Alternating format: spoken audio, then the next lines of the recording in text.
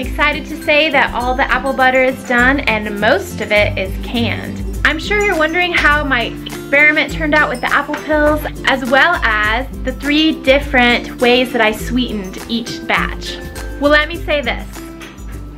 I don't think I'll ever leave the peels on again. The flavor is great, but the texture is a little strange. There's like teeny tiny pieces of peel that didn't quite get incorporated even when I blended it. However, if you have something as awesome as a Vitamix, it would probably be totally fine. I have a Ninja, it didn't really get the smallest bits of peel incorporated. The apple butter that I already canned is the apple butter that was sweetened with sugar and honey. Honestly, they tasted exactly the same, which is exciting because we can raise bees. We can't raise sugarcane, but we can raise bees to make honey for us. The one that I sweetened with apple cider is still in the crock pot. It's just waiting to be canned. It is amazing. It is definitely my favorite one. And actually, I have to say that it's sweeter. It's sweeter than the sugar one and the honey one. Maybe because I put so much apple cider in, I don't know, but I have to say it's my favorite one. I can taste more of the spices in it. It has a little bit more tang. It's it's my it's my ultimately my favorite one for sure. Grace just brought me a mum. So sweet. These were actually put in the ground by the former owner who passed away about eight years ago. So it's pretty cool that Grace just picked that flower for me. Isn't it pretty? It's the color of fall. Today I want to talk about the number one thing that I have realized I want to grow on our homestead. Our goal in this place is to become as sustainable and self-sufficient as we possibly can. We know that to acquire those skills, to build up our soil, to learn about animals, that is going to be a long process and take time. And the number one thing we want to grow, we won't see real fruit from that for many years. Do you want to know what it is? I'm going to give you some clues.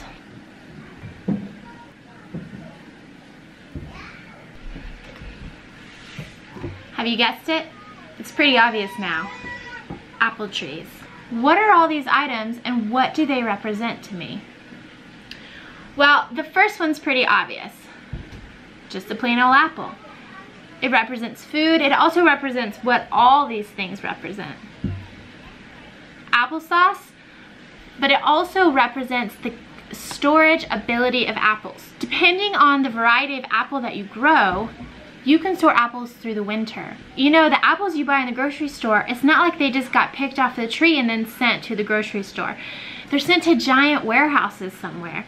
And then the grocery stores stock them as needed throughout the winter. One of the reasons there's only so many varieties available in the grocery store is because of storage ability. So just the apple itself can be stored in the correct conditions and the right variety through the entire winter. I'm sure you'll get a few bad ones, but you'll still be able to go down into your cellar, grab some apples, make a pie, make some apple crisp, or just eat an apple. You can also can apples. They have high acid content, they're very easy to can. What does this one represent? It represents pectin.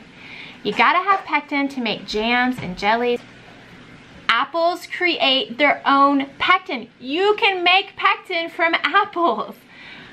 I didn't even know that until you guys started commenting on one of the first apple videos asking me, are you gonna try to make pectin? I had no idea what you were talking about, but I've been researching it and you totally can. So that to me is another perfect reason to grow apples. You know what you do when you're done extracting the pectin from the apples? You make apple cider vinegar. Apple cider vinegar, I believe, is one of the most wonderful substances on the planet. Here's why. Say you don't have electricity. Say you don't have fuel. Say you, you don't have a canner. You can pickle things. Acid kills bacteria and makes it perfectly safe to eat. For all of history, people have been pickling things, not canning them. Canning is pretty recent as far as history goes. Apple cider vinegar is medicine. We drink it, my kids love it. We also make a fire cider with this. It's really good homemade medicine. I'm gonna be making that for you guys really soon. You cook with it, you can clean with it. This stuff is kind of miraculous. And even better, you can make it on your own homestead. You don't have to buy it from the store. It's just incredible to me. Apple trees are the number one thing I want to grow on this homestead. Food storage, food security, health. I was dancing around the house last night, so excited about starting the process of making cider vinegar today. But some days just don't work out how you plan. Today was one of those days. Brighton, poor guy, he is cutting four teeth. So I have had to wear him, carry him, hold him, nurse him, cuddle him all day long. And that's fine. It just means I didn't get to make cider vinegar. Mom, look. That's apple cider vinegar. Do you want to taste some? Mm-hmm. It's spicy. Yummy, no, no. Oh, yes. It's not spicy. You like this. Okay. Do you like it? it's strong. Uh, no one's saying it's not. But do you like it? Yeah. Yeah. All my kids ask me for just plain. We got a big squirrel get your cat. Okay, more. Okay. Come on, Woo! Come on, cat. See what I'm saying? Come on, cat. Yeah, you can. Thank you. You're welcome. Um, I want to taste it. I want to try it. Okay.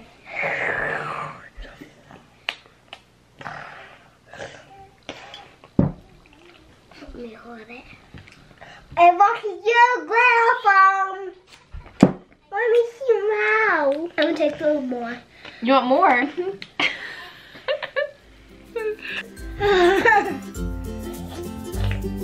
Okay, got real stick.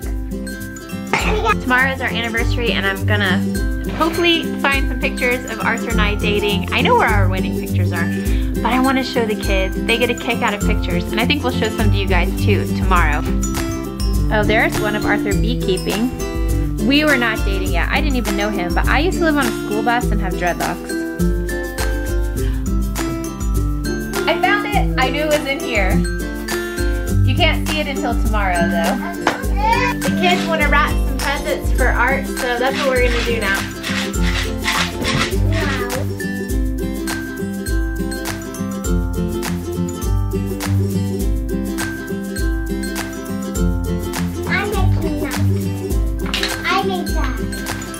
Bye, Major.